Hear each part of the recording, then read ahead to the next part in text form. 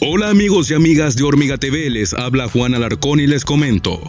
Google ha retirado de su tienda Play Store 16 aplicaciones maliciosas por contener un nuevo malware de tipo clicker, que además de drenar la batería con su actividad, genera una gran cantidad de tráfico consumiendo datos. Las 16 aplicaciones identificadas por los investigadores de McAfee se habían publicado en Google Play Store simulando ofrecer funciones de linterna, de lectura de códigos QR o gestores de tareas, entre otras. En conjunto acumulaban más de 20 millones de descargas, como han informado en su blog. Estas aplicaciones, una vez instaladas en el equipo de la víctima, descargaban una configuración remota cuando eran abiertas que les permitía realizar fraude publicitario. Con la redacción de Rosabel Melián, nos encontraremos en un próximo video. Mientras tanto, suscríbanse, denle like y activen la campanita para más videos como este, por acá, por Hormiga TV.